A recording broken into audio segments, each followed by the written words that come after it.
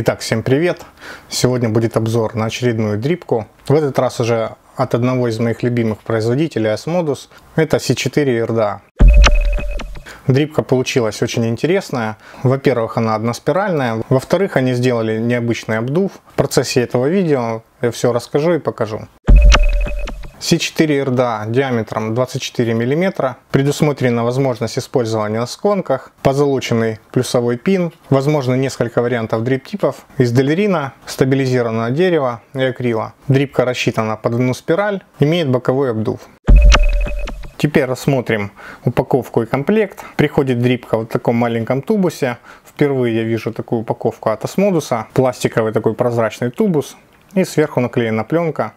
Здесь у нас логотип Осмодуса. Написано C4. Здесь перечислен комплект. И внизу сертификаты и предосторожности. Также есть обозначение цвета, в моем случае это серый. В комплекте идет сама дрипка. Дополнительный дриптип из Дельрина зип с рингами, винтиками и пином под склонг. Вот такой маленький круглый мануальчик на английском языке. И два шестигранника разного размера. Вот это для крепления спиралей, а вот это для замены пина. Также в комплекте есть две преднамотанных спирали. Это триплы, три жилы из 0,4 кантала и сверху 0,1 нехром. Сделано очень качественно. Я как раз на этих спиралях и тестировал дрипку. Мне очень понравились.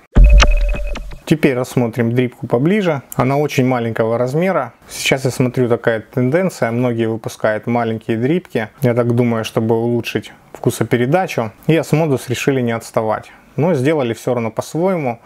Как всегда, качество просто на высшем уровне.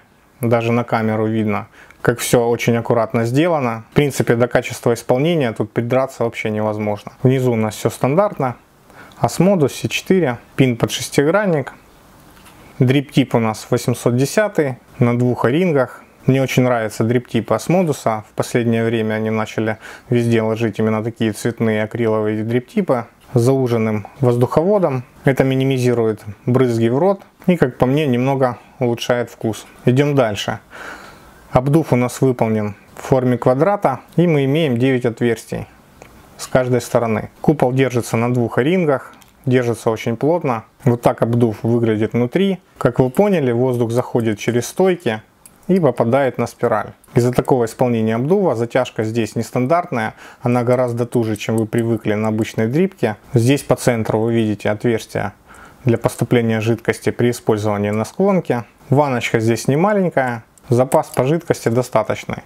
На вид она, конечно, не сильно глубокая, но из-за того, что здесь одна спираль, помещается достаточно много ваты ну и, соответственно, немало жидкости. Крепление спирали здесь по типу как в хастуре. Мне такой способ крепления очень нравится. Я уже не раз говорил, что на мой взгляд это один из самых удобных способов крепления спирали. Единственное, что здесь они сделали винты под шестигранник, но мне больше по душе именно шлицевые винты. Здесь вы видите такие прорезы, это сделано специально для дополнительного удобства при установке спирали. То есть вы как раз ложите свой coil со спиралью четко по центру и после этого затягиваете винты. Принципе по базе я думаю это все понятно. Сейчас намотаем, уложим вату и потом продолжим.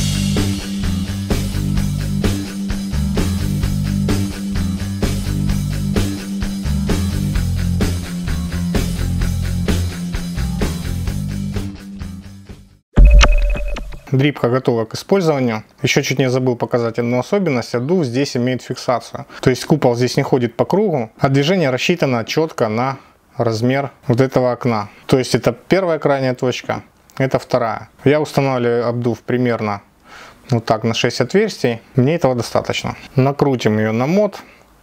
Как вы поняли, при откручивании дрипки она проворачивается и перекрывается обдув. Даже если вы будете скручивать полную дрипку, я имею в виду с жидкостью, то ничего не прольется. И также при установке прикрутили и сразу настроили обдув под себя. Очень интересная фича и, на мой взгляд, очень удобная. Вот так это все выглядит на моде. Теперь попарим и пару слов об этой дрипке.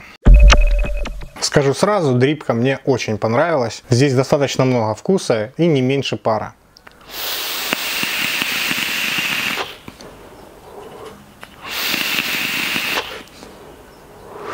Как для односпиральной дрипки, очень даже достойно. В общем, мне она очень понравилась. Мне она нравится внешне, мне нравится, как она передает вкус, и мне очень нравится ее затяжка. Даже на полностью открытом обдуве тяга такая немного с усилием. Она не полностью свободная, мне такая тяга очень нравится. Для меня всегда был фаворитом по тяге и вкусу 24 Кеннеди. C4, наверное, станет моей второй любимой дрипкой.